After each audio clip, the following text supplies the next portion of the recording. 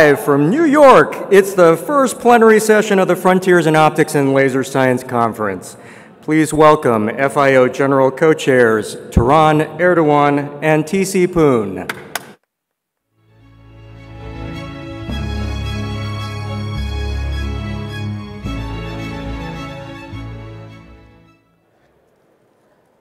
Hello and welcome.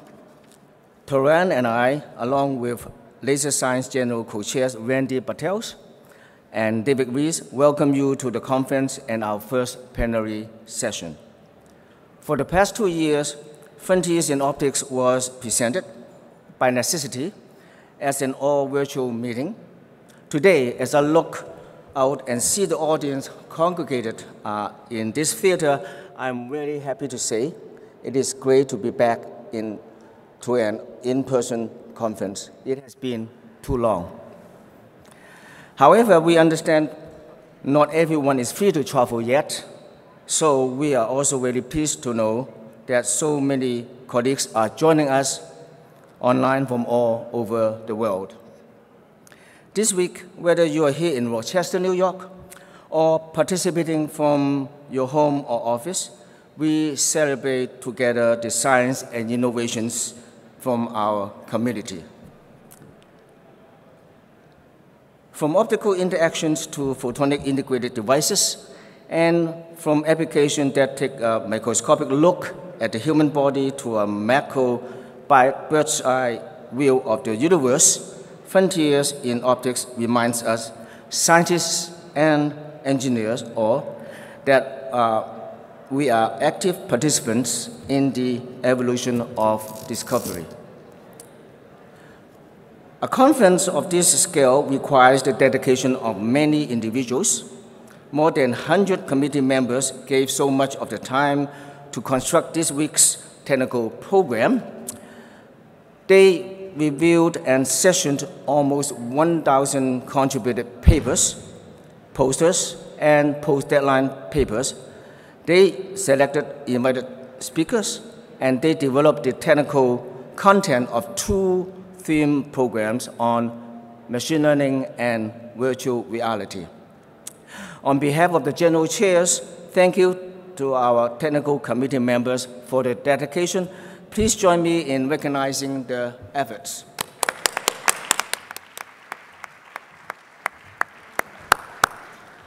Thank you. Uh, TC and I would also like to acknowledge the support of our corporate sponsors and exhibitors whose financial assistance helps to make Frontiers in Optics possible. And uh, finally, we'd, we'd like to thank the two societies who co-sponsor the conference, the American Physical Society, the Division of Laser Science, and of course, Optica.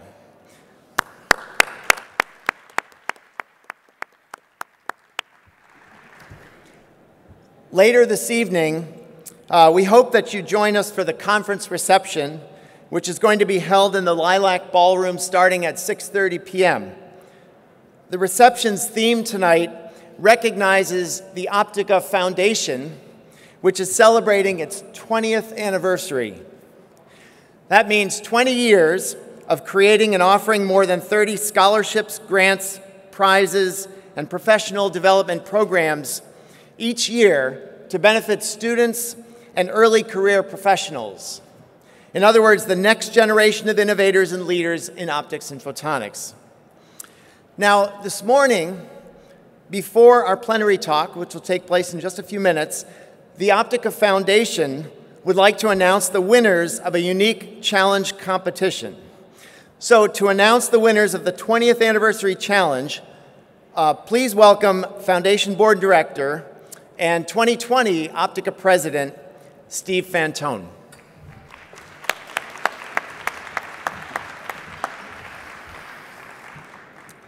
Thank you, TC and Turan. As Turan mentioned, the Optica Foundation is celebrating its 20th anniversary this year. To mark the occasion, the foundation is awarding 1 million US dollars in prizes to winner of its 20th anniversary challenge. Applicants were challenged to propose a way in which they could use optics and photonics to solve a real-world challenge in the categories of environment, health, and information. It is my pleasure to announce our 10 official winners. At your seats, you can see their names and proposed titles. For those online, these are posted at the Optica.org Foundation Challenge. The winners are Ashim Dhakal, Dismas Chog, Guangwei Hu, Chaorong Wang, Xingchen Ji, Mark Lawrence, Michaela Picardi, Wanvisa Talataisong, Florian Willomitzer, and Mengjie Yu. And I believe one of these exceptional individuals is here today. Florian, if you could please stand.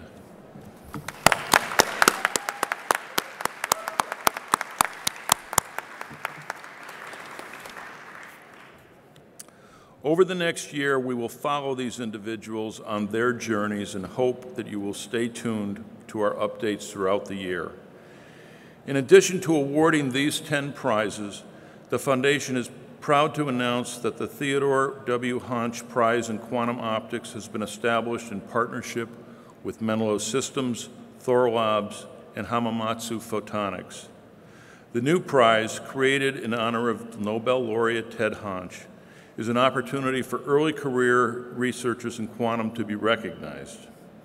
And finally, I encourage you to join me in supporting the next generation of optics and photonics and students and early career professionals like those recognized through the challenge by donating $20 or more to the Optica Foundation in celebration of 20 years.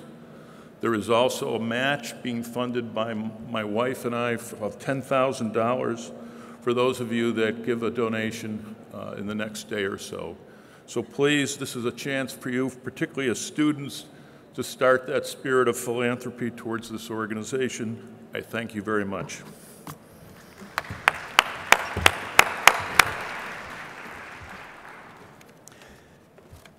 Congratulations again to the winners of the 2020 Optica Challenge.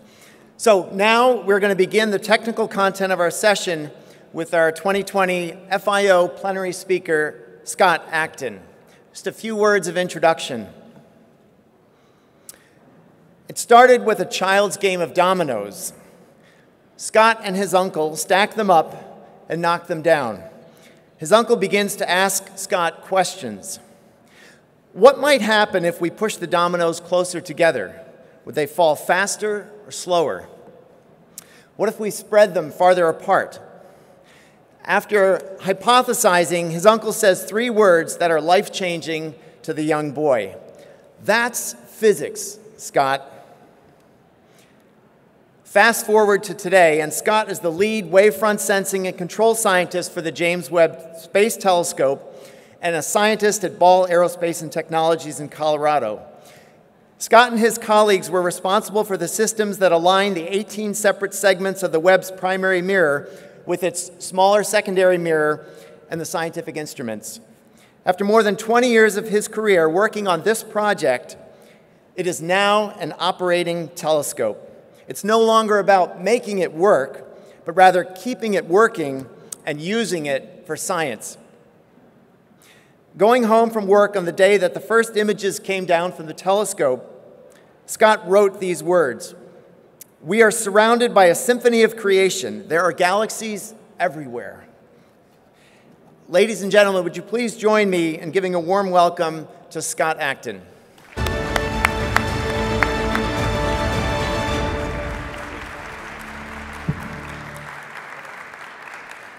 Everybody, thank you can you hear me? Okay, good. Yes, thank you so much. It's really, really fun to be here. Uh, what an honor. Uh, wow. So we got lots to talk about and very little time to do it, so I'm just going to get with it here. Let's see. So here's the first uh, picture. I call this Farewell Webb. And this was the last picture of the spacecraft that was taken as it was moving away from Earth. It was completely accidental.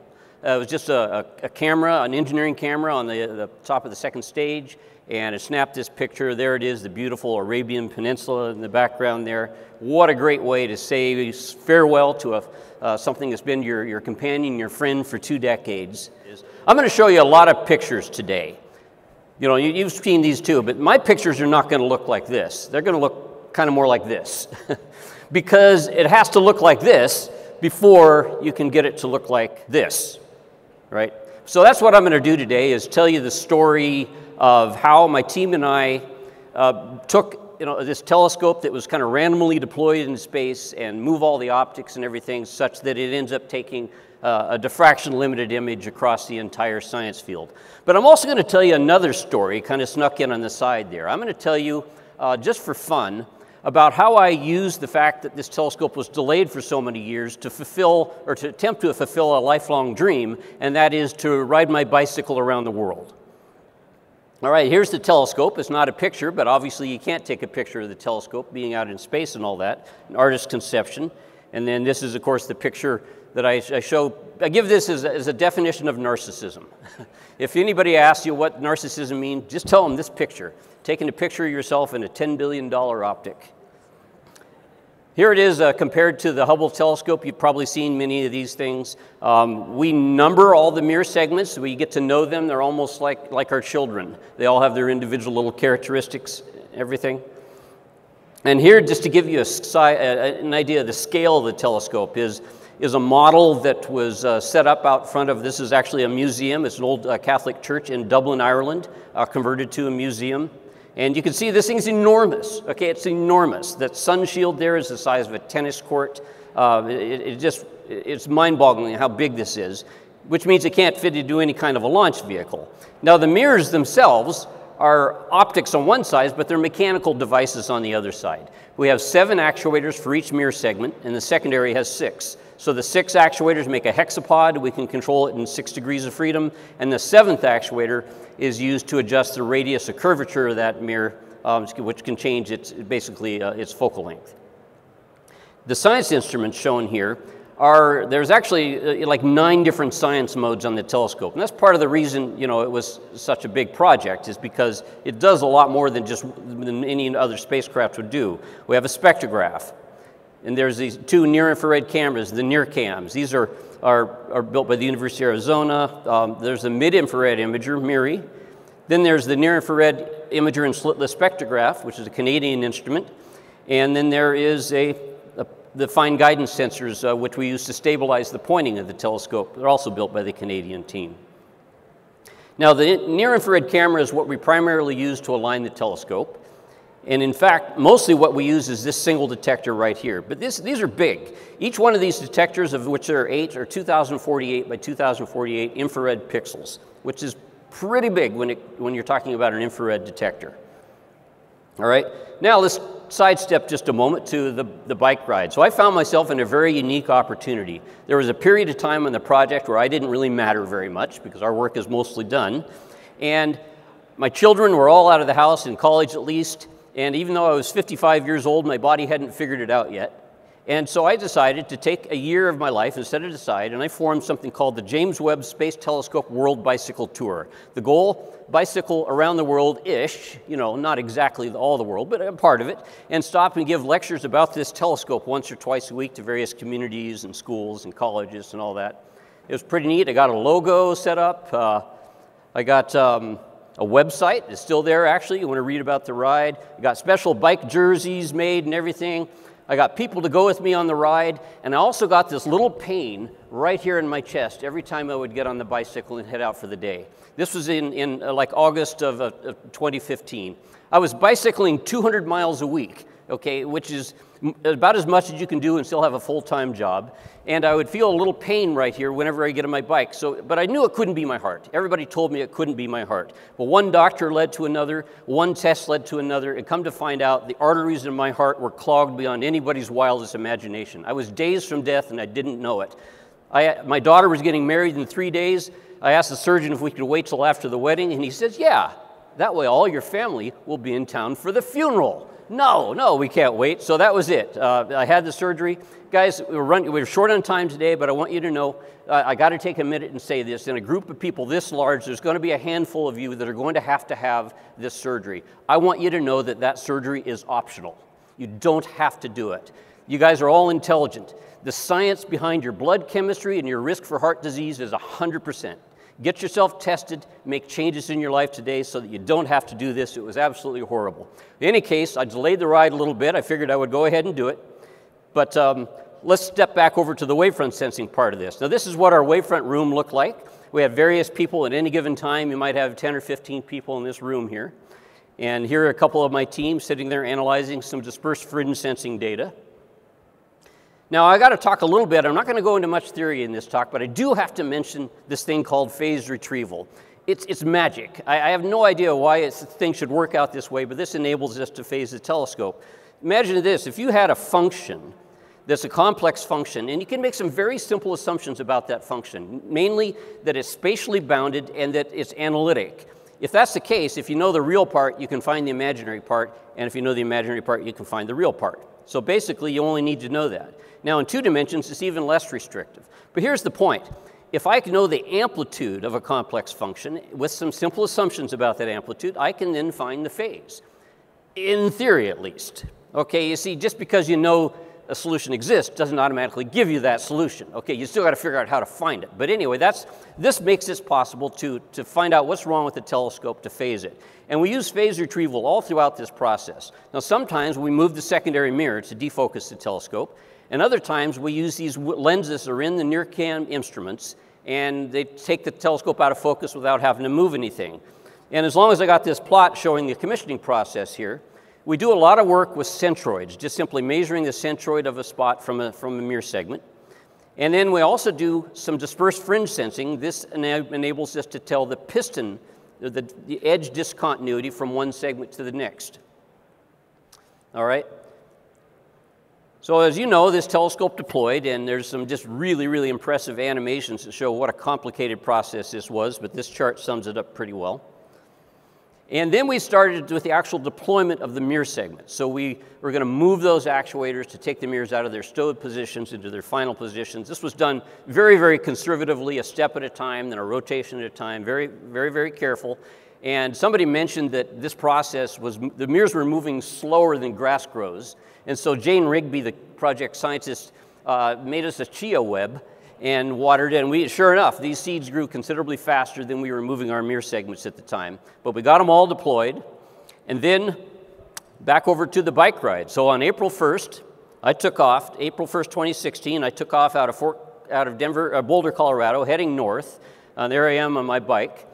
And we ran into you know some things it, it, you know it's up through Wyoming and everything through Colorado, Wyoming. Uh, it was a very very terrible terrible winds, terrible freezing headwinds, um, terrible fifth graders. terrible, one of the more intimidating audiences I think I've ever talked to. But I gave a lot of talks as I went. You know, kept going up through Thermopolis, Wyoming, just beautiful scenery. Uh, I gave a talk in Greybull, Wyoming. Why not make a cake? There I am going into Montana. This is Bozeman Pass. It just about did me in. Trucks going past 70 miles an hour in the freezing snow. And then, then finally things cleared up a little bit, a little more peaceful. And then we, uh, back to the telescope now, we took the first light. So everything is deployed, but we have no idea where all these mirrors are pointed. So on February 2nd, in the middle of the night, we pointed the telescope at the Large Magellanic Cloud and just took some images on the NIRCam detectors. And here is what I saw. I took this with my, my cell phone. This was the first image that came down off of the telescope, and as you can see, nothing is phased up and everything. Everybody was just so happy because the science instrument was working. There wasn't a piece of mylar in front of the entrance aperture or something like that. And, but I'm looking at this going, oh my gosh, what did we do to the telescope? because you see those little cigar-shaped looking things? That shouldn't be there. And uh, well, it turns out it was just a perfect storm. There was nothing wrong. But it wasn't, it wasn't until Super Bowl Saturday that we realized that we hadn't done something really bad to at least a couple of those mirror segments. So then we pointed the telescope at a bright, isolated star and executed a raster pattern, just taking images and then stitched them all together to make a mosaic. Now, ideally, we ought to be seeing 18 spots here, right? And that's exactly what we found. We were expecting the pointing to be way off, in fact, it was really good. It was like five arc minutes. And we were expecting the spots to be spread out a lot more, but we got, you know, not lucky. It was just good engineering. They were only spread out also by about five arc minutes or so. Hundreds of exposures, and, and there they are let's see if I'll skip to the thing. Here is the mosaic after stitching everything together. Um, if you count very carefully, you'll see 18 spots. And eventually we would figure out which segment was which. And these, where I circled them, are, correspond to the wings. And as you can imagine, those are deployed mechanisms. You would expect them to move together. And by and large, they mostly do. All right? So then that crosshair in the middle, the goal is to then tilt all these segments so that they come together to form a tight little array in this detector. But we'll get to that in a second. Um, I mentioned that, uh, that I should point out that this project was a collaboration between NASA, the European Space Agency, and the Canadian Space Agency. Those three people, collabor- the groups collaborated for this. So I went to Canada, crossed into Alberta, and uh, this is when I gave up on using Google, Google Maps for, for bike riding. British Columbia was just so beautiful. All this stuff is just, just incredible. I, have never seen anything, the wildlife all over the place. Uh, if you ever get a chance to head up that way, up into the Yukon and Alaska, just imagine you're taking a ride in the mountains with your family on a Sunday afternoon, except that mountain scenery continues for two and a half thousand miles. That is what this is like. It seems to never ends. It just goes onward and onward, and river and river and lake after lake. Unbelievable beauty. But such a rugged country, though. There's a highway there, but you go 50 feet either direction off the road, and there's nothing. Just nothing. Every creek, river we passed, I passed, uh, had um, fish in it. You could just see it all over there. It, it was just all kinds of things. so much wild animals and, and scenery and stuff. Just beautiful. But such an unforgiving place. If you make any mistake and it could kill you in a heartbeat. But just beautiful. Into the Yukon Territory. Uh, this was Watson Lake, Utah. You know, but I just, uh, it's such a peaceful place to be as well, you know. But um, I, I hope I can go back sometime. There it is. Uh, there's the head of the Canadian Astronomical Society. I liked everything except the bugs. I could have done without the bugs, but it was just a, a beautiful, beautiful place experience. And I came to a fork in the road, and I took it. Found myself in Alaska, continued up to Alaska, and, and then got all the way to Fairbanks. So then the first thing we did is we were decided to focus the telescope. And looking at that initial mosaic, there was obviously a focus bias.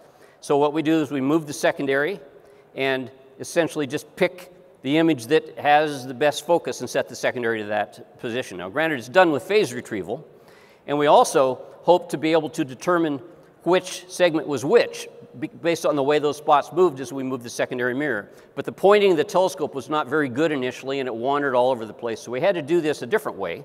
This is running phase retrieval on one of those groups of images, and you notice that the algorithm is placing this vertical line into the phase map into the, into the retrieved amplitude. That's the secondary mirror support structure. So I then knew that that segment had to be segment number 12 and could register these images to make it move like it was predicted to move. And then lo and behold, everything comes into position and I could tell which segment was which on all those. Then we went on to uh, identify the rest of the segments. And now what we want to do is we need to tilt these things so that they all come together and we'll point the telescope so that that detector is seeing that part of the sky. And here's what we ended up with. I remember one of my colleagues pointed out this is the moment he knew we would get the telescope phased.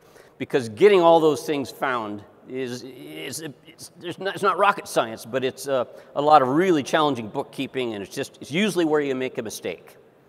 And so we moved them all into this nice little array pattern. We colored it blue, and released it, and it went viral. Everybody thought this was really, really neat. Of course, a lot of really smart people said, hey, how come those two segments on the lower left and the lower right are so bad? Well, that's the same thing I was thinking.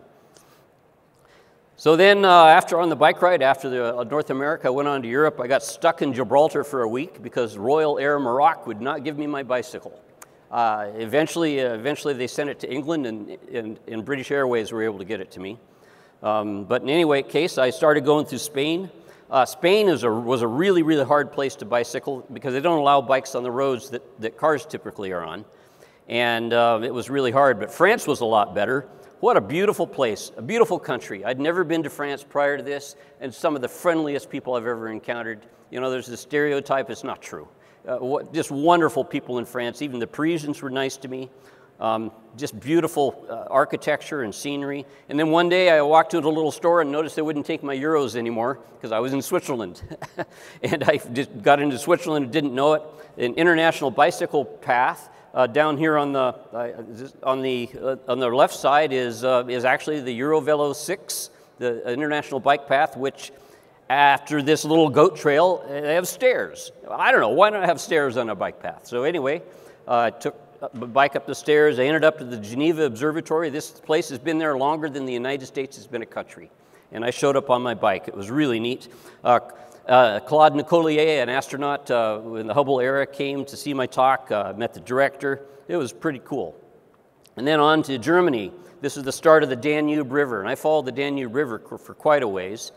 Um, just uh, again, just more beautiful, beautiful scenery, just a wonderful uh, you know, landscape and everything into Austria. Um, I ended up in Vienna. Uh, this is some interesting graffiti along the Danube. And I stopped over at the Institute for Quantum Optics and Quantum Information. Uh, uh, Anton Zeilinger hosted me. Uh, you know, he won the Nobel Prize just a couple weeks ago. Pretty cool, huh? And then they ended up in uh, Slovakia. I didn't even know I was going through Slovakia, but there I was, and uh, somebody arranged a talk at the university there, and that was, that was pretty neat. Um, and then on into, into Budapest, into Hungary, just beautiful architecture. And now we're back to com commissioning the telescope. So what we did is we moved the secondary mirror in focus and then ran phase retrieval on the images we took, for, but each individual segment at a time. And here's what we ended up with. Uh, on the upper left-hand corner is the phase, and you see there is some large uh, focus errors on two of those segments. But the, um, in the lower one, you see that those segments have a little donut shape in them. Well, that is because the radius of curvature actuators on those segments were somehow put to the wrong values. It's somewhat of a mystery. Uh, they were way off. And so rather than correcting the power that we observed in the segments by pistoning those segments, uh, which was our plan, we went ahead and adjusted it with the radius of curvature actuator. I suspect all the radius of curvature values were off somehow, um, but uh, it, was, more pronounced on those two.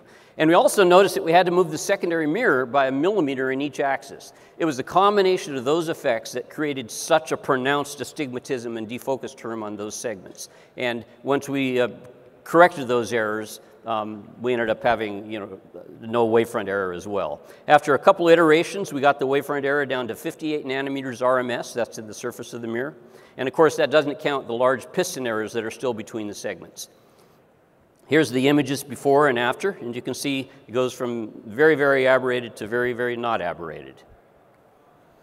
Then what we have to do is we need to move all these segments into the center so that we can make a couple of different measurements, mainly using dispersed fringe sensing techniques to measure the piston between the segments. And I'll let this animation play out. It's a rather complicated thing because we have to know exactly where the spot is and we can't waste the, the fine range of the actuators. So anyway, I want to say every time you see an image change in this, think about it people on the ground, a team had to decide that they wanted to move that. They had to generate the commands that the telescope could understand. They had to send them through the deep space network and all the way up into space. It takes the images, it moves the mirror segments, takes the images, and downloads those images through the deep space network, through the process, the pipeline of the, at the Institute and the Mission Operations Center, and then it appears in our computer and it gets analyzed. So that's why this takes months to do and not hours. It's, uh, it, it, there's really quite a process that but in any case, we got all the mirrors stacked, and they're at a single point. Now, they're not phased in piston with respect to each other, but they're on top of each other. So we took a selfie. Now, this we called it a pupil image, but showed it to the administrator of NASA, and he says, Oh, you mean it's a selfie? And we go, Yeah, it's a selfie. you know, uh, he's, he's a very good communicator, and he very quickly uh, come up with a way of describing this that people would understand. So that's a pupil image and we use that in phase retrieval, so we have the amplitude constraints. But we took a picture of the Large Magellanic Cloud again, and this went on the lock screen of my, my iPhone. But it's not phased, but still looks pretty cool, right? Let's see, what do we got? So then we use this dispersed fringe sensing technique uh, to measure piston differences between pairs of segments. And because we have two NIRCam channels, we can actually get 30 different combinations of, of measurements. And here, here are some of the images that come down. And because some of these piston errors were really large, uh, we were running out of dynamic range in this technique, but fortunately we could shift to slightly longer wavelengths and we can see this effect. I wish I could go into this in more detail, but these create these little barber pole patterns and that tells you what the piston difference is between within a pair of segments. Then you use the linear algebra to, uh, to solve this system of equations and you know what the piston corrections need to be. All right. So here we are between plus and minus a quarter, quarter millimeter were what we applied. Those are pretty big uh, piston corrections. then we tilted the segment out for the next step. So I went back to the United States after Europe and put my bicycle in exactly the same spot that I left in when I went north and then headed south out of town. And this was fun. This is what I think of America. Just these beautiful little sunsets and small towns and stuff. I just, I just love this kind of stuff. It was a, a really easy ride. Um, I actually got out of shape on this ride because there's no hills, there really weren't any wind, and a lot of really, really fattening food. And uh, bed bugs in your hotel room, no problem on a bike. You just pitch your tent, and you're safe from them. Just beautiful. And there's my good friend Sam Cook. He's a professional opera singer. I met up with him. We rode a little bit. Uh, fire ants in Texas, discovered those. That's the, uh, camped in a campground. That's the night that I found that Trump had won the election. Ended up in Austin to give a talk. Went into Louisiana, across the mighty Mississippi River, places I'd never been before. Into the great state of Alabama, into Florida. I found I encountered this guy. I think this guy was a man named Mark Baumer. I don't know for a fact. He was a person that was walking across the United States barefoot to raise awareness for climate change. Uh, uh, if that is him, unfortunately, he was killed in a, a car accident just a couple days later. Into places I'd only dreamed about. I'd never, never seen anything like this before until I got there. In the Florida Keys, just miles and miles of endless causeways. So the next thing on the telescope, what we're going to do is we need to tease out the field-dependent errors. Long story short, it's possible to have the telescope perfectly aligned at one field point by, you can imagine you put the secondary in the wrong place, and then it creates a wavefront error that you exactly cancel with the primary. You do that so you can have a perfect image at a single field point, but if you move away from that, you get bigger errors? Well, this has a very, very large science field, so it has to be aligned for the entire uh, process. So we came up with a technique to do this, to tease out these errors early on. And what we do is we move the spots into this little tight array like this, use the one down in the lower right-hand corner to guide with the guider, and then we move it around the science field within one instrument, the NIRCam A, and then you can, by looking at the way the centroids move, you can work out the focus and the astigmatism turns. And it turns out there's a single equation that makes it possible to write down what the field dependence will be as a function of the secondary mirror positioning errors. Neat, huh? This equation, by the way, makes it possible to align the telescope. I don't know what we would have done. Uh, it's a simple, simple solution. Everything's simple when you know the answer. It took us years to figure this out. So in any case, the first thing we did was after making those piston corrections, we moved the telescope, we moved these things into this array is getting them as close to each other as we can without interfering with each other. And this will allow us to do Hartmann techniques to tease out the lowered or wavefront errors. We went around and then measured at five different field points, and we're looking at the change in those terms as a function of field position.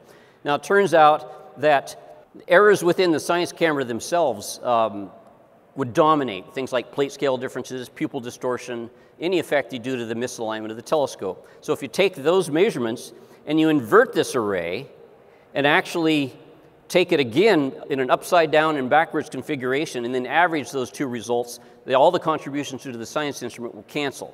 So that's what we did. And so at the end of the day, when we ended up figuring all this out, we found out that there were some pretty significant errors in the secondary mirror. It needed to be translated even more in the, the direction that it had to be moved before, and we needed to tilt it all, more than half a milliradian in uh, one axis. And we kind of really gritted our teeth and did it. But uh, as it turns out, this is exactly the right thing because we repeated this process again, and those numbers down there ended up just being noise. Sigh of relief. Everybody has their moments on this project when we're finally th so thankful that it worked, and this was mine because I really wasn't 100% certain that this idea was going to work until we got to the real telescope. So then, once we corrected those field dependent errors by moving the secondary and adjusting the primary, then we needed to go back into global alignment again, where we're going to move the secondary to, to finally tease out these, uh, you know, whatever's left in the um, individual Okay. Well, we're going to just go with this. So anyway, we measured the, the wavefronts again. I had a little animation that shows them moving into that array. And we noticed there were just some little radius of curvature errors, maybe a little bit of translation of the segments. And um, took another set of images. And finally, at the end, we got it down to 44 nanometers RMS. There's some very, very small piston errors remaining, but other than that, this is just perfect. Okay, I got to go back. I got to show this one. Uh, uh, okay, here you are. Um, this is a comparison of that result with respect to the ground measurements. And you can see the difference between those two isn't worth mentioning. Um, in the, like the 11 o'clock position, you'll see a little dot in the GA2 result that is not in the ground measurements. That's one of the first known micrometeor hits. But you also see the scale that those things create. They're, they're comparable to aberrations that are already in the segments. Um, yeah, so anyway, uh, the interesting thing pointing out is that it never actually really was measured on the ground because that was all indirect. You have to back out gravity sags and everything. So it, it's amazing that it really worked. Um, what we need to do now is to tilt all these mirror segments so that they align on the crosshairs. And as you can see, what happened is it didn't work. we missed it, but that's no problem. We can just move them to be in the, in the right place. And at this point, now we're going to stack the images again, except this time we can use phase retrieval. And here we go. We step through all the, the use the weak lenses in the science instrument and do phase retrieval on it. And all we're controlling is tip and tilt at this point. And as you can see, here is the, um, the, the, the, focused image prior to applying these big piston corrections and afterwards. And you can see the coherence. Now we're well within the coherence length of the light on the right, whereas before we were out of the coherence length. This is why we can use phase retrieval now. So here's some more uh, coarse phasing images we took.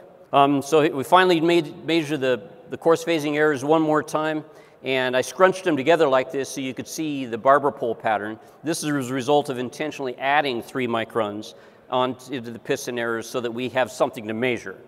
Okay, so I think let's see if, all right.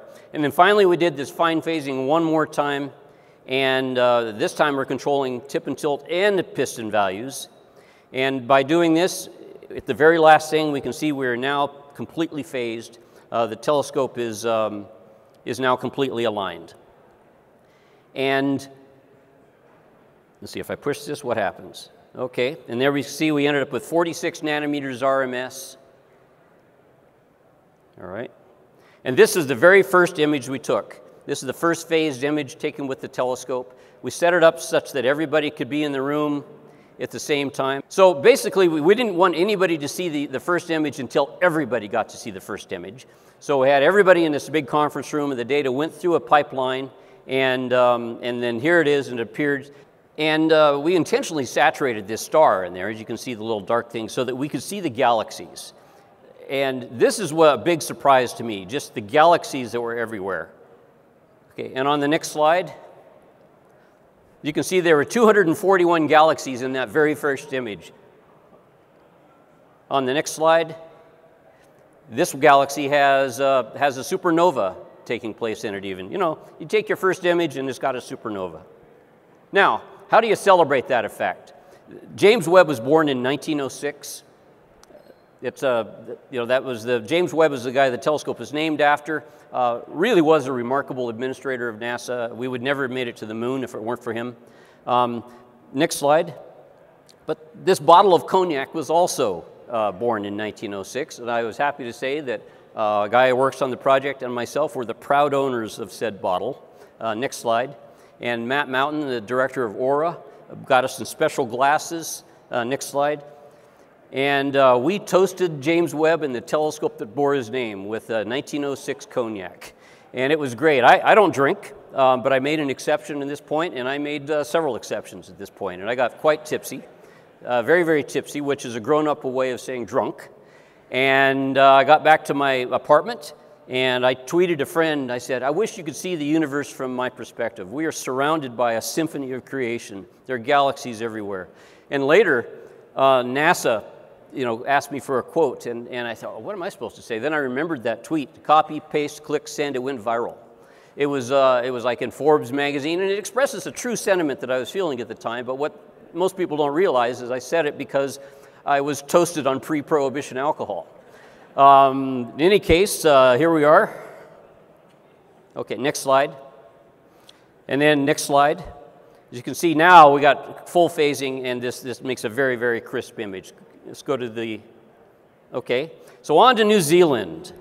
Beautiful, beautiful country, beautiful people, lovely. I mean, it's just, just, it's just amazing. Unbelievably friendly people in New Zealand.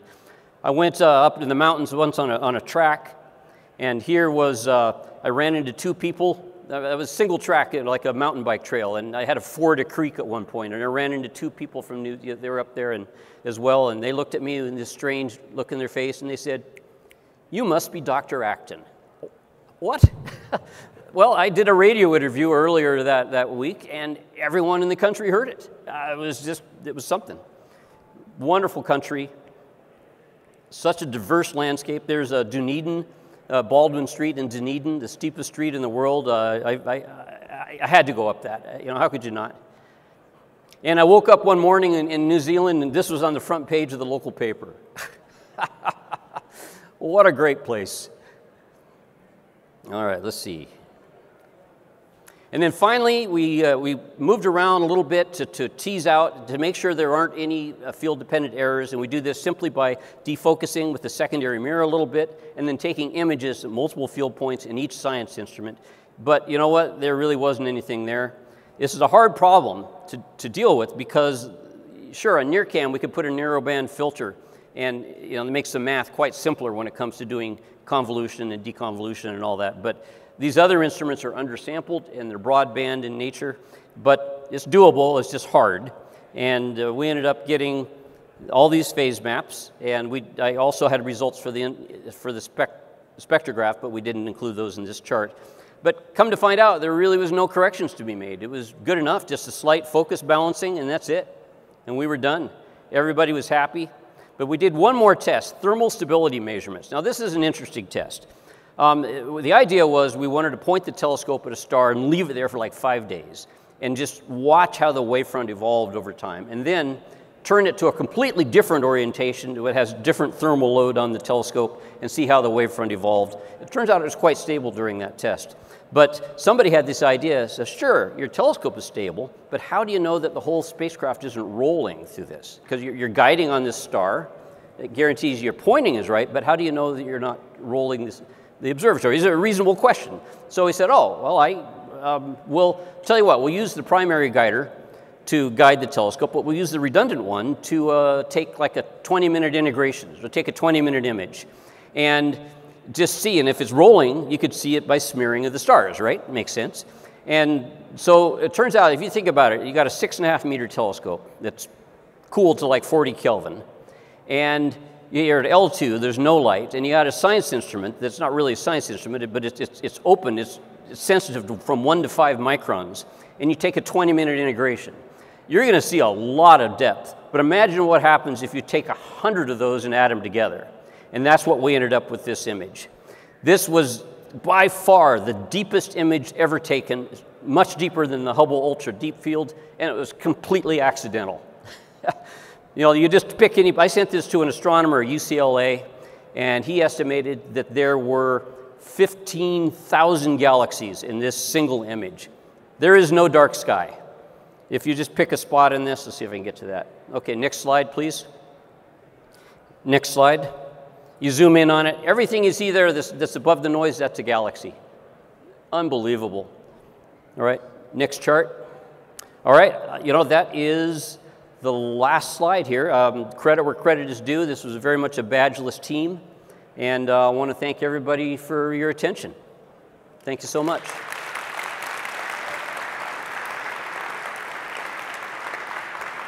All right.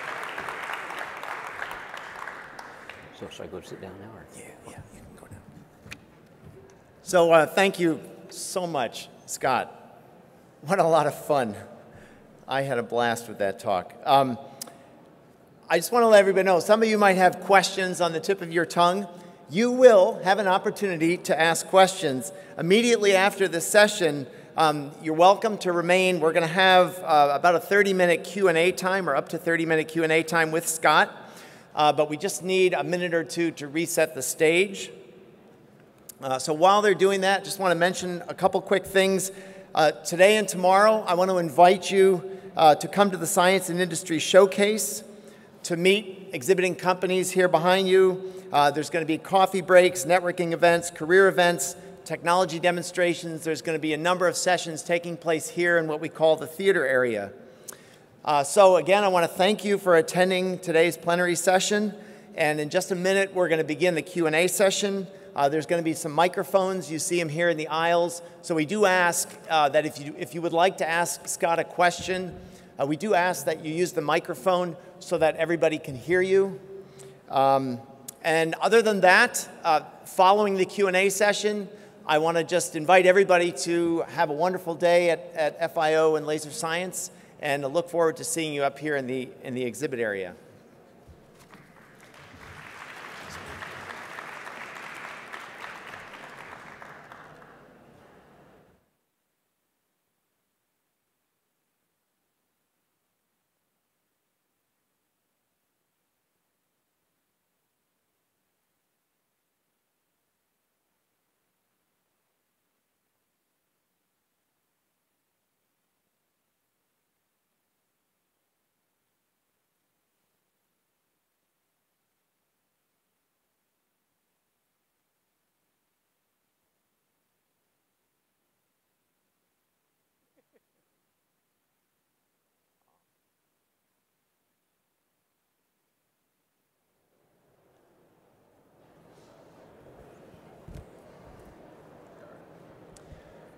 So I think TC is going to ask you a question first. Okay.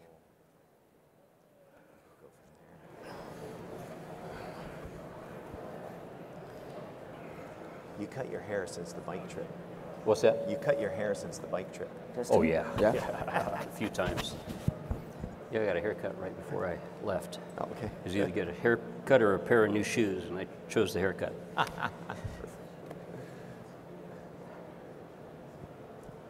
Yeah, go ahead. Are we TC. ready? Okay. Well, uh, first of all, thank you for uh, attending the Q&A sessions here. First of all, here, I would like to thank uh, Scott again for the enlightening talk there. So what I'm going to do, I'll kick off with the first questions, okay?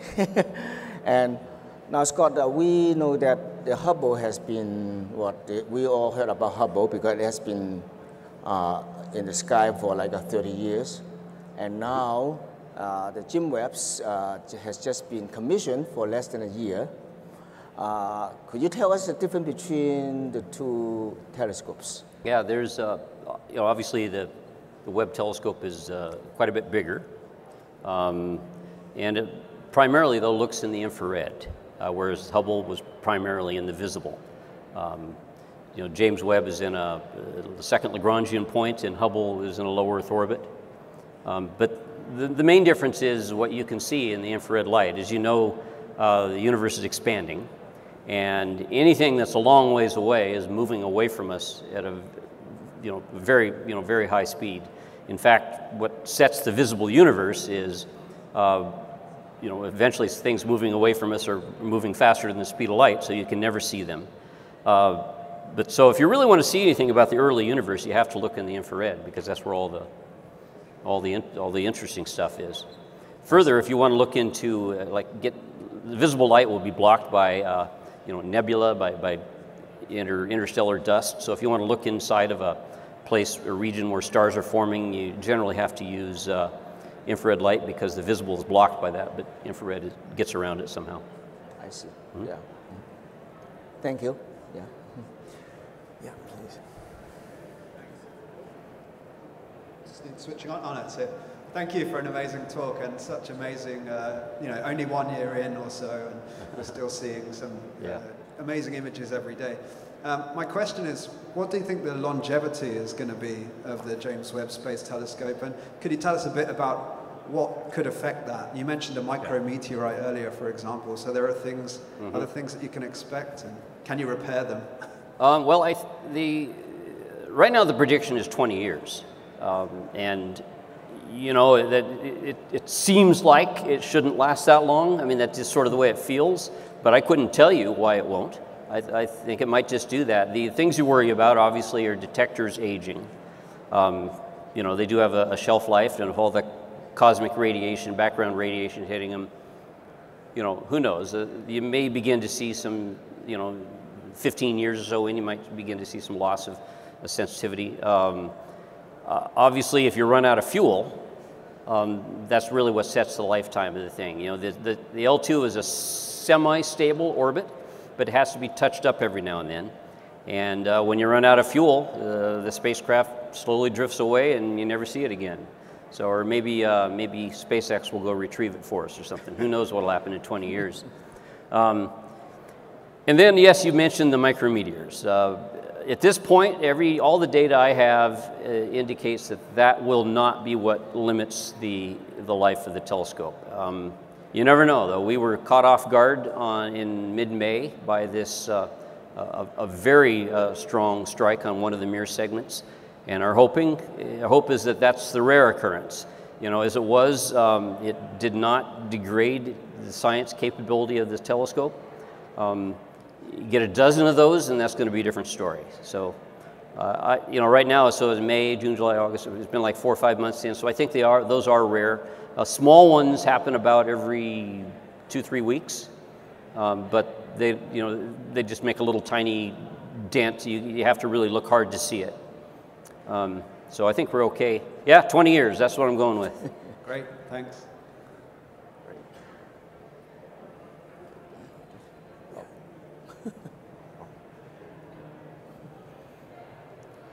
Hello, thank you very much for your talk. It was very interesting. You're welcome. Um, my question is regarding the timescales that it took to align the telescope, and I was particularly curious of, so sort of how long does it take to send an instruction, and how long does it take to figure out what that instruction did and how it affected the telescope? Well, in commissioning, we kind of dominated the deep space network. We had 24-7 coverage, and eh, I would say the quickest you could ever uh, create a, you know, a, a, a, command, we call it, uh, you know, a, a wavefront control file or something, and have it executed and getting it back down looking at the images was about four or five hours.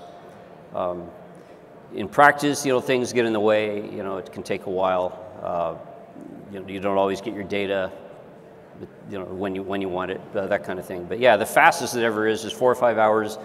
We kind of planned on like a shift, maybe eight hours would be the nominal. Sure. Mm -hmm. A question about cost and schedule.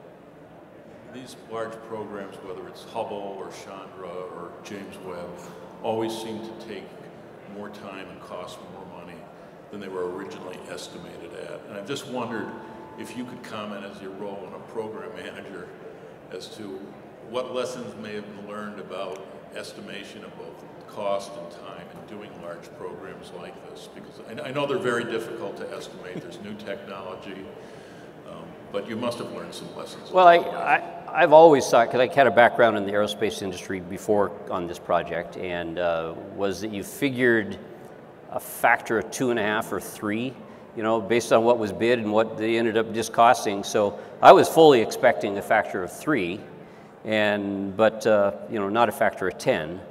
And you know, so it's hard to say. I'm probably the wrong person to answer that question. Um, I just think this is what these telescopes cost, and I think we know that now, and we didn't know it then. Um, there wasn't really any mismanagement or anything like that. It was just this is just what it takes. It really does. You know, you, you could certainly have attempted this project for quite a lot of less money. I don't think you could have got it to work though. uh, these most of this technology didn't exist uh, when we started and had to be invented and brought to a TRL. Well, now it's all TRL 9, but uh, so yeah, I, I uh, if I were to, if I could just sideways a little bit from your question, um, uh, one of the things that worked really well that I learned from this is this concept of a badgeless team. You know, we had uh, multiple organizations uh, that were that had to work together, and somehow very early on, we just completely erased the institutional lines between the players. People from different countries, people from different institutions, and somebody might say, no, we don't want to do it this way, let's do it this way. Even though they didn't have any contractual responsibility for that thing, uh, we listened to them. And uh, I, I, think that's the way to run a project. Um, you know, that's, that's one of the lessons I learned. That thank, you, thank you so much for the uh, excellent talk and the work. Uh, I have a question about the, um, the scalability and size, weight, and power. So these things are very heavy and you know, uh, payload is heavy to send satellites. So then, have you looked into something like uh, interferometric imaging with the photointegrated circuit array to create something that does the same or maybe better resolution with uh, 100 times lower uh, size, weight, and power? That's one direction. Another thing is about the uh, these high-level, high uh, resolution images take quite a bit of um, uh, time to transmit. So then, have you looked into something like uh, hyperspectral imaging with the um, you comprehensive hyperspectral imaging that can also reduce the amount of data to be transmitted? You measure compressed first, send out the compressed data, and then the ground station can expand that. Oh, interesting. Um, I guess the quick answer is uh, probably. Uh, I know a lot of people have looked into this. Even for this project, we considered interferometric imaging. And I don't really know why that never really got a lot of traction. I think it's, uh, you know, I showed this uh, phase retrieval chart early on. Well, the father of phase retrieval, uh, Dr. Robert Gonsalves, has an expression that, uh, that has always stuck with me, and that is, if you want a good picture, you take a good picture. And I think there is a natural tendency to shy away from any kind of imaging that requires deconvolution or whatever. Um, so I don't know. I, I think uh, scalability, um, I'm not sure what will ultimately uh, limit the size of an aperture you can put in space. Probably micrometeors, uh, if I had to guess right now. Um, but uh, yeah, I don't think putting a big telescope in space is going to be a problem in the coming years. Uh, I think we're kind of at the limit of what you can put in one launch, perhaps, uh, but you could put multiple launches and assemble it. Um, yeah, I hope that answers your question. Uh, but uh, I, am afraid, uh, yeah, that I, I don't I, I, don't see us doing uh, very much for in interferometric imaging unless it's a specific mission, you know, where we want to look at maybe a, a, a planet at a star, you know, around a star, and uh, I, I, personally, I, I, could be completely wrong. I don't see that being a, a direction we will go for a generic uh, astronomical tool. Does that make sense? Yeah, I, I think so. The, um, I, I just happen to be working on three NASA projects, and NASA people have been telling us that the payload and scalability has been a big concern. Mm-hmm. So we've been looking at this um, interferometric imaging, an array that does the imaging in the Fourier domain instead of real space, and you can do all this phase correction in the Fourier domain. And then compressive imaging allows you to do, say, you know, thousand different color with um, n by n pixels hmm. with a, maybe two n square instead of n cube type yeah. of. So that by scalability. But we well, that's uh, that. that's very interesting. You know, right now we're not really limited by the bandwidth, the data rates uh, from the telescope. Uh, that's I don't think that's the bottleneck, uh, but it sure could be if you had a, a you know, a bigger field of view or a bigger imager, yeah. But I would encourage you to take a look what's happening right now, even today in Boca Chica, Texas. Uh, the, the launch vehicle that, uh, that SpaceX is developing, I, predict is going to get close to $10 a kilogram into low Earth orbit. Um, I, th I think we're, you know, the, I, I have no trouble just envisioning any very large telescope being in space in the future. But it's the future, who knows? Just, uh, it would be nice to have 100 times lower size, weight, and power for the same capability. Right? Okay, thank you.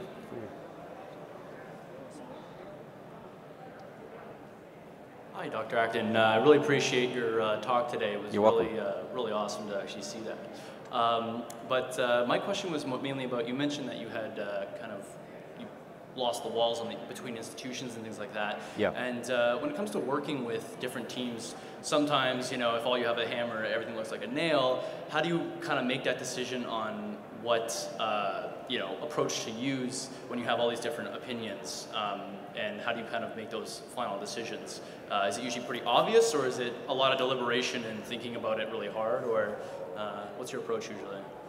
Well, I suppose ultimately it comes down to uh, somebody having the authority. Uh, but, uh, but by and large, it was just very uh, very collaborative, very uh, cooperating. Um, you know, uh, I think once once you feel secure and confident with each other, you know, if, if there's somebody you don't know, right, you're very, very skeptical. But once you become friends, maybe you got to drink together a little bit or something, you, you know that the individual's not trying to, you know, take your, your job away from you. And, um, you know, uh, my attitude is I want all the help I can get, you know. Mm-hmm. If you got an idea that's, I mean, wh- why, would I, why would I reject that just because it wasn't my idea, you know?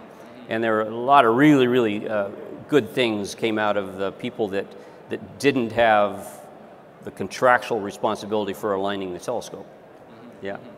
Thank you. Sure, yeah. So Scott, a question about your bicycle trip. Okay. On your trip, what country or group of people did you find the most receptive to the science that you were talking about, besides the, you know, other uh, things that you said, friendly people, but you know, Yeah. who, who, are the best in, in receiving the science? Well, I, I have to be, you know, obviously when I went to um, scientific institutions and gave talks there. Uh, so I would say uh, Germany, Austria, um, Switzerland. Uh, you know, if you just stop by a local community, there was a, a lot of interest. Uh, but by and large, the, it, you know, various colleges and schools and everything, the people had never heard of James Webb Space Telescope. Um, and uh, the places, the research institutes did, obviously. Um, but I'll, I'll answer a question you didn't ask, and I would say the prettiest place to bicycle. All right, so is uh, Passau, Germany to Bratislava, Slovakia. It is just, just a slice of heaven. If you're going to take a bike ride, do that one.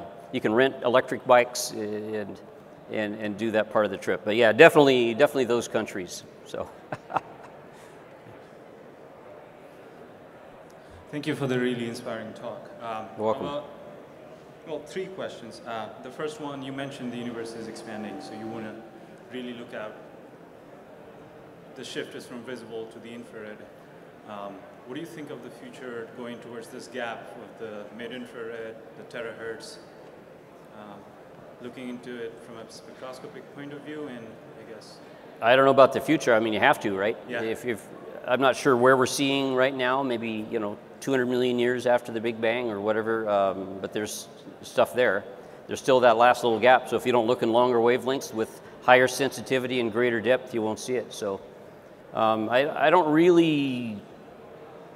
I mean, you know, who knows where the, the, the attitudes will go right now? I think there's a lot more um, interest in pursuing uh, exosolar planets, uh, you know, getting spectra from planets, coronagraphy and all that, than there is of, of getting to the last little bit of uh, what we can see in our own universe. Um, but, you know, after seeing this data, I'm, I'm actually very intrigued by it. Um, I'm not an astronomer, uh, but I can sure look at pictures and say, gee, there's a lot of galaxies there, and they sort of look like galaxies do today, even though they're only, you know, they're, we're only 200 million years after the universe began. And some of them have neon and oxygen in them. How is that? Because you, in order to get those elements, you have to have a mature galaxy. So, how on earth do you get galaxies that are only 200 million years after the universe began and that, have, that are mature? You know, so uh, I think uh, there's quite a mystery there.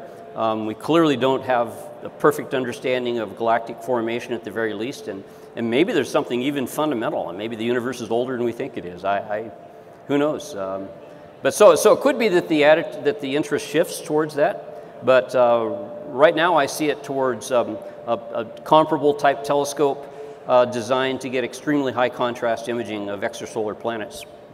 We'll see.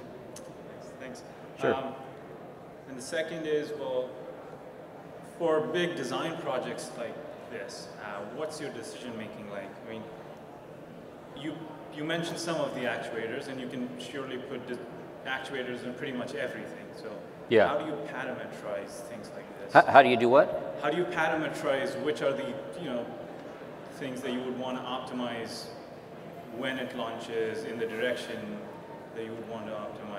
I mean, Yeah. sure, you could optimize these Zernike polynomials to the nth degree you would want to, but when do you stop? And how does that factor into your decision making? Okay, now I, I want to make sure I understand your question. You're asking us how we optimize the wavefront?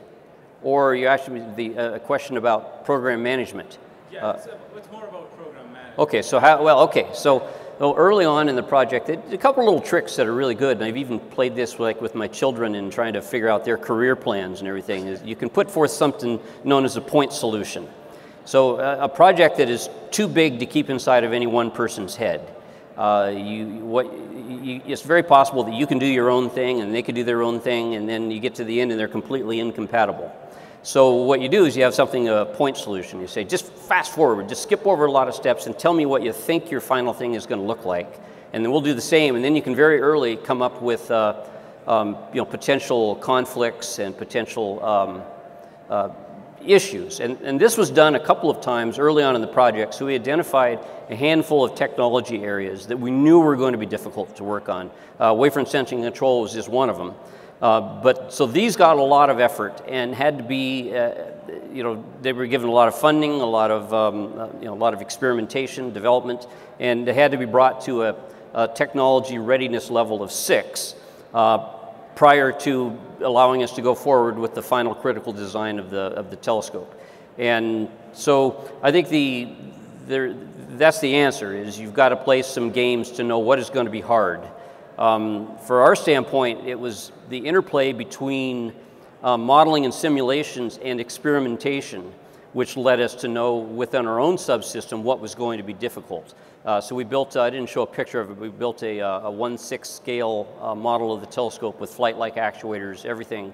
And we realized that the, the, the difficulty was going to be this field dependent issue and uh, the measuring the piston errors, you know, and that's what we had to concentrate on. And with regards to the actuator, we, we realized that the, the, interplay between the coarse and the fine mechanisms uh, had to, you know, th that was the hardest part about them. It was all about preserving and conserving the fine range.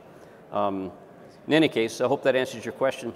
That's kind of all I got. I mean, on, a, on, a, um, on a fun generation uh, of iterations point of view, so when you're trying to launch a product, you go through Gen 4, Gen 5, and that typically is the average for a lot of products. Uh-huh. What is it like for the individual pieces that you are trying to work with?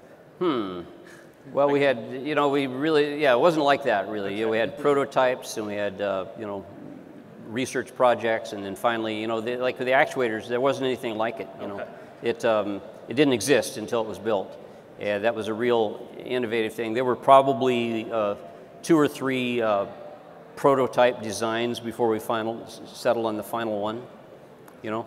Um, oh, and well, finally, because you said, uh, I wish we saw the world from the perspective you yes. saw, and you've seen, uh, you've been in that perspective, and you've also seen this planet from biking around places. Yeah. So what are your views in general on the future of sort of scientific space expedition versus space tourism? Well, I don't know. I think it's, uh, you know, I, I, uh, I, started working on this project. I made a decision in 2001 that I would do this. And okay. prior to that, I really wanted to, um, I thought getting people to Mars would be a really good thing right. to spend your life on. To, if I'm going to take a couple decades and do something that matters. Uh, I thought that would be. But I looked around the world and concluded, as did pretty much everybody else, that the window of opportunity for humanity to become a spacefaring civilization had closed. And it had, sociologically, economically, uh, um, you know, politically, there was just no will. And somehow uh, Elon Musk has opened this. Uh, he has, uh, he's already done the hardest part, and that is in the brain of every little kid he owns a tiny part of their brain that says, we will be a spacefaring civilization. It will happen. And I've seen this all over the place, so I have uh, actually quite a lot of optimism in that regard. I, I think that, that, that, you know, it's certainly not going to be, you know, something that I get to live to see uh, fulfilled, but I really think it will be a commonplace uh, for most of us, you know, be like taking an airplane flight. You know, you will, oh yeah, I'm going to go into space, yeah, just a spring break, you know, that kind of thing. and, uh, thank you so much for your insights. You're welcome. Again, appreciate the, uh, the entertaining talk.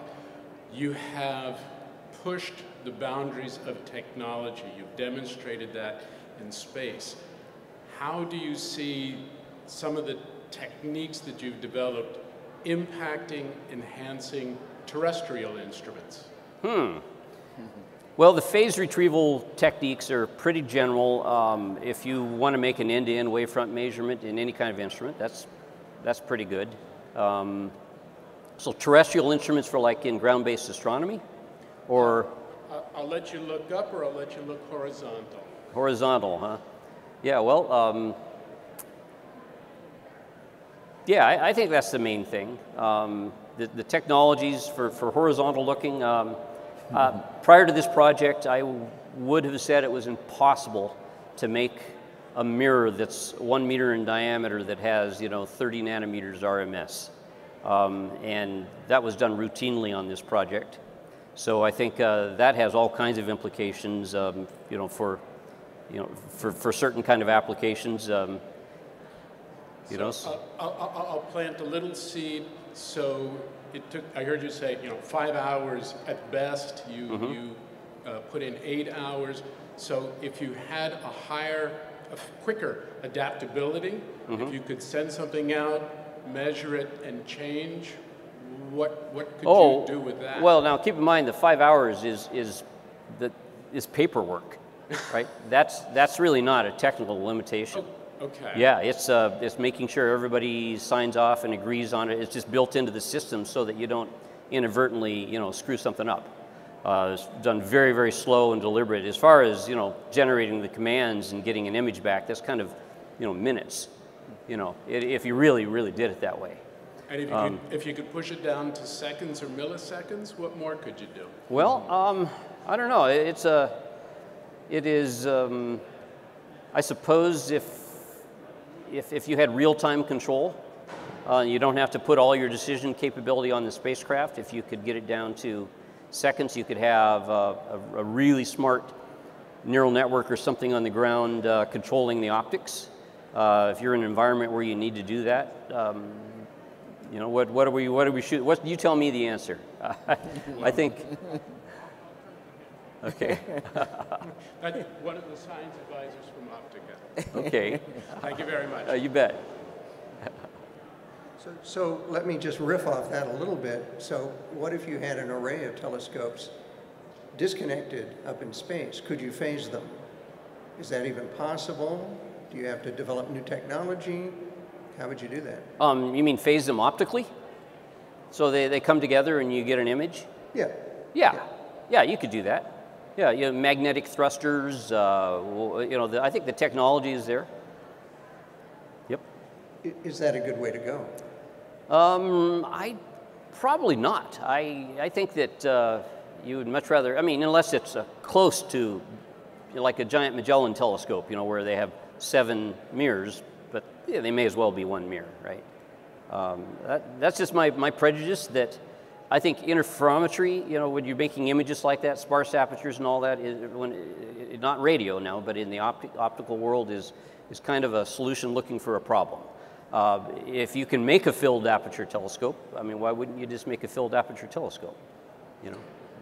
Well, one other application would be, of course, terrestrial. And so you have, you know, planet-sized aperture, and you can uh -huh. use, like they've done for the black hole research. So um, and I know there are issues there, but is your technology that you all developed for the Webb uh, anything that needs to be applied to that, or is that simply a timing issue? I see. Yeah, I mean, I, I suppose the difference I'm learning maybe just just today is that you know you got to keep in mind Webb was designed to be a, a, very versatile generic thing. If you are you have a particular mission where all you care about is just that that really super high resolution of certain phenomena, uh, an interferometer might be the way to go, you know. Um, the first stellar diameters were measured with interferometers. Um, you know, if that's what if that's what you're after, yeah, I think I think you're right. Maybe maybe so. It's, it's really hard. Uh, so uh, thank you for your uh, quite interesting talk. You're welcome.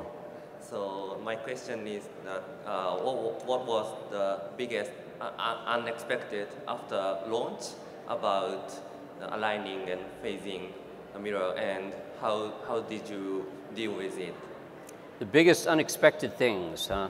um, well, I, I, I, there were, uh, I understand with any space mission, there's always things that, you know, kind of make you, uh, make you very nervous. Um, the, uh, the, the, probably, uh, though, from a wavefront sensing and controls perspective, um, the, the difficulty in the beginning of not being able to control the pointing of the telescope uh, was required us to do literally just invent stuff on the fly. You know, I didn't talk about it much, but it was, um, you know, we all the software was designed to rely on the the the fact that after calibration we should be able to point the telescope to within two arc seconds, and it was more like two arc minutes. So. Um, so that required a lot of innovation, um, you know, thinking, shooting from the hip, so to speak, uh, you know, dealing with those pointing uncertainties.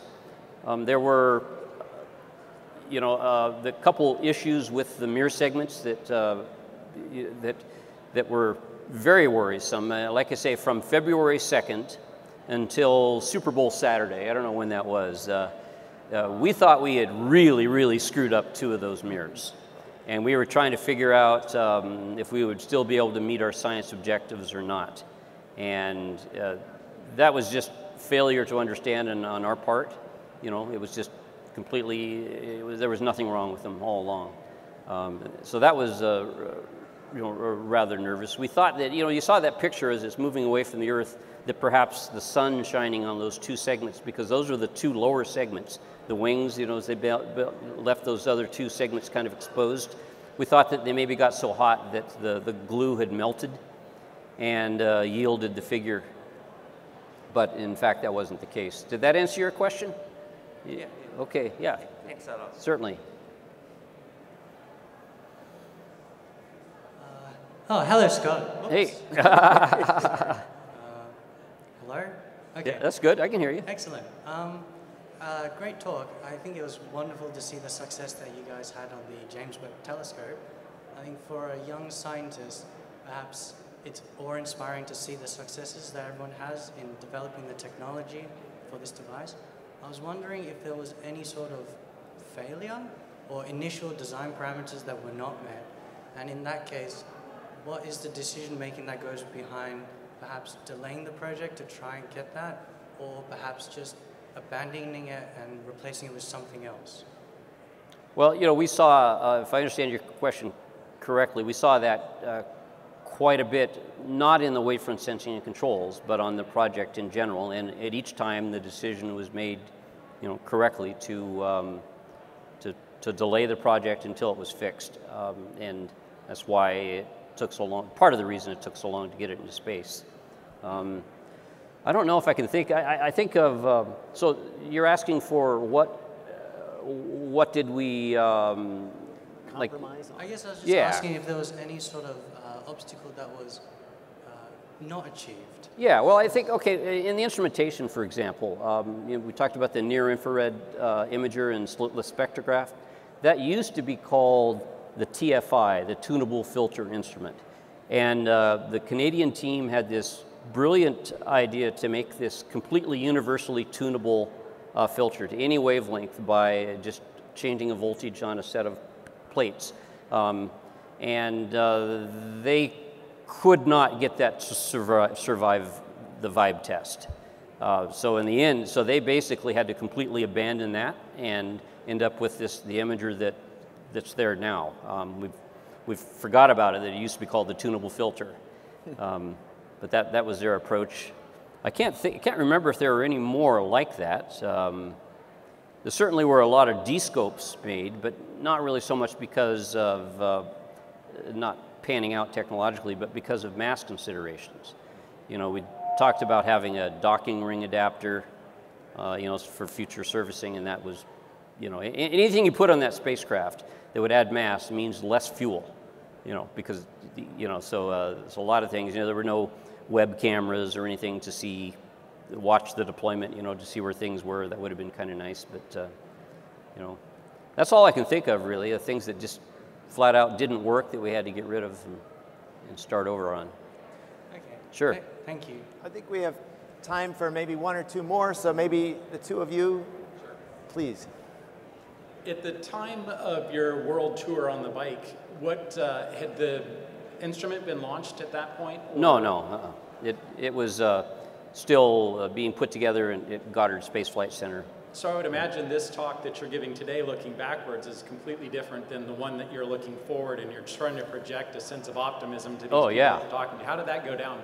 Yeah, no, it was very, very different. Um, I, I gave roughly 100 presentations in my bike ride, you know, or eh, maybe, maybe not that many, but a lot.